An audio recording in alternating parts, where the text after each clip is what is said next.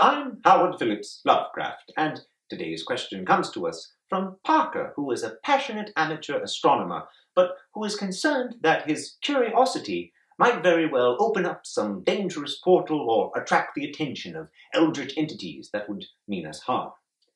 Now, while I'm sure that the world is very grateful for your caution, uh, it is rather misplaced. You seem to have internalized some of uh, my stories of Yog-Sothothery, but I would like to remind you and anyone else watching uh, that those were works of fiction. I don't actually believe that there are giant entities out there planning to swallow us up whole. If they are out there, I imagine they've got better things to do. No, instead, my stories were meant to capture and dramatize the, the angst of the age, of, of growing up at a time when our perception of the universe was exploding on a, on a logarithmic scale. Imagine, if you will, spending your whole life in a tiny little tidal pool on the edge of a beach, and then coming to understand, slowly but surely, that there were vast oceans and seas all around you.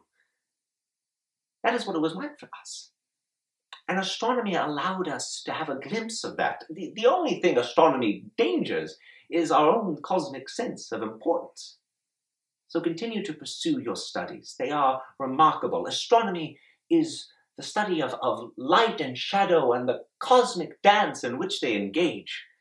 If you want to pursue a study that risks destroying all humanity, well, might I recommend economics? As always, I'm Howard Phillips Lovecraft.